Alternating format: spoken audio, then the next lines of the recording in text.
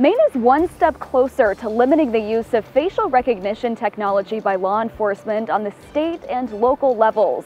Representative Grayson Lookner is the sponsor of LD 1585, the bill proposing these regulations.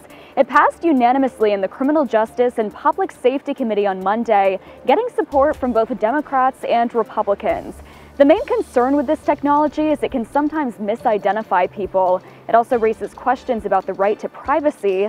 Originally, this bill had more limitations, but some amendments have been made to compromise with groups like the Maine State Police and the Maine Municipal Association.